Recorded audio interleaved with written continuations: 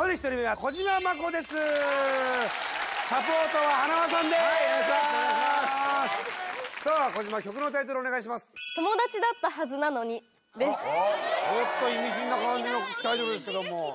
どうなの小島その歌は実体験なんですか？実体験で、それ以降はちょっとロマンチックに考えてみたんですけど、なるほど。小学校の時に仲良し4人組でいたんですけど、1人の子が転校しちゃったんですね、そこまでが実体験で。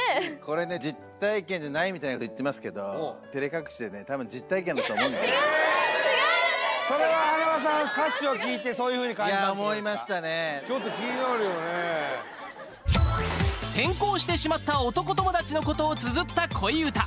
一体どこまでがリアルなのか？小島真子さんは乾電池と画数が一緒だそうです。小島真子さんで友達だったはずなのに。どうでもいいその情報。4人で笑って過ごした日々。男子2人。女子が2人。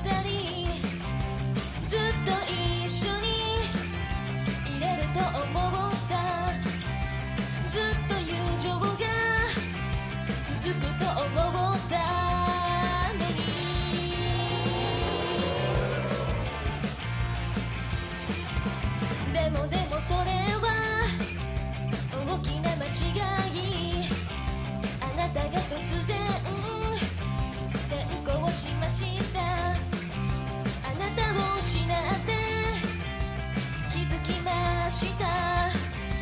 この感情は友情じゃなかったことを。あなたに恋を恋を恋をしていました。別れて気づき気づき気づき気づきました。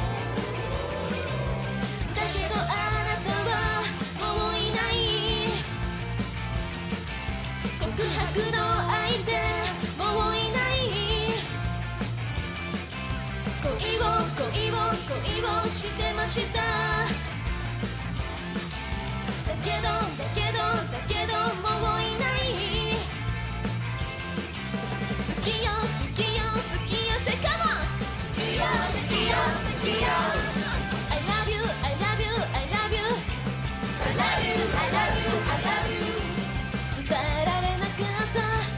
持ちです。違う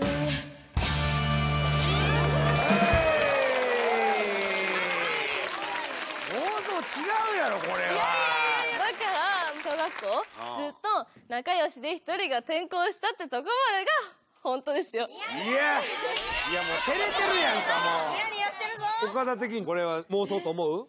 いや本当なんじゃないかなちょっとなんでよ。照れてるやん。いやめちゃくちゃ女出してるやん。こいつめちゃくちゃ女出しよった。あでも突然だったんでバイバイしてから一回も会わないのはやっぱ寂しいなって思いました。えじゃあもう本当にそれっきり会ってないの？会ってないです。連絡も取ってないです。連絡先もわかんない。わかんないわかんない。そうだからちょっと。ちょっと AK ビンゴで会うべきなんじゃないですか？どうなってるのかも知らないのでじゃあもう実はやんかほいだらお前。北原さんどうですか？いや歌も素晴らしかったんですけれどもまこちゃんが、やっぱ喋ってる時も可愛いですけど歌ってる時の方が100倍くらい可愛いんですよ。なんかそこにすごいアイドルに向いてる人なんだなって感動しました。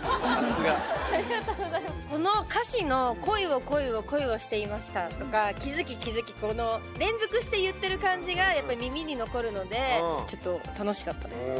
これいい歌なんですよね。いい歌ですよね。欲しいぐらいなんですよねこれ 花輪さんが。